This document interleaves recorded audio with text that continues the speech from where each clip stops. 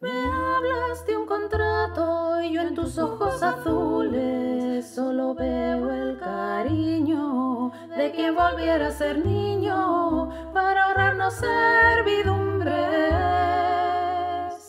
Acobijo en tu traje y corbata, estás rezando a los dioses, que funcione el discurso plagado de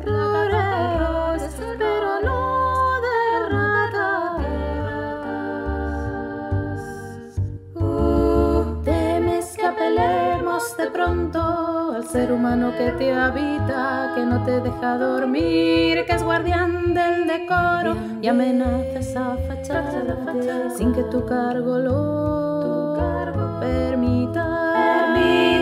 Más allá de la jerga vacía, los señores que representas de tu falta de alegría, querría pedirte que sientas de una vez todo el peso del contrato que un día firmaste, no conmigo ese no importa, sino con el héroe. Tus cuentos preferidos,